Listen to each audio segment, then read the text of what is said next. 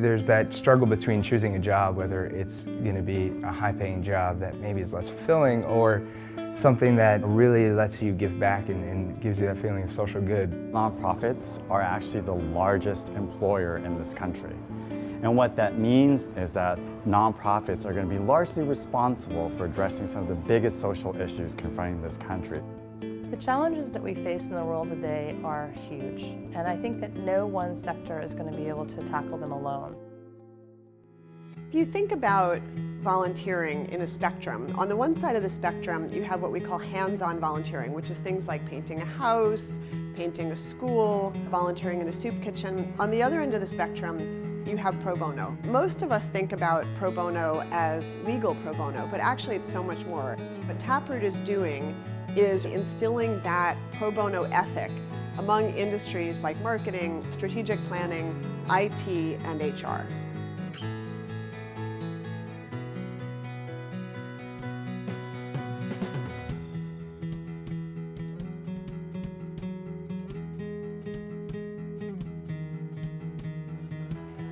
The Global Pro Bono Summit is a four-day event which includes corporations and pro bono professionals from all over the world, in fact from 15 countries, who are coming together to really think about how to scale the pro bono movement. I'm really excited to hear from all of you today about the work that you're doing the Global Pro Bono Summit is a real amazing opportunity for people to come together and have conversation and share best practices and also share challenges with each other that will incite them and inspire them to go back and make change if they need to.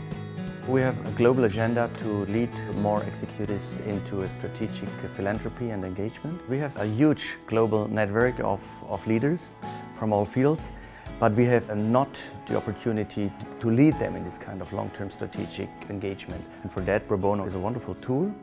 The biggest obstacles that nonprofits confront are financial resources and capacity building. Pro Bono gives us an additional set of resources that we wouldn't even think to explore if we were just thinking solely in terms of cash.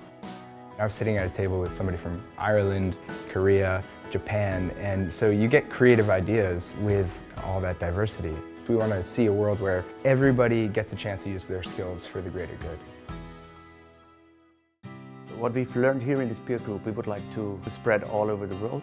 The wave is starting and getting higher. We will see a much broader field of pro bono providers. It could start a positive competition. Pro bono is really at an inflection point right now. With technology innovations and other innovations that we're looking at, we really have a huge opportunity to continue to scale and make an impact.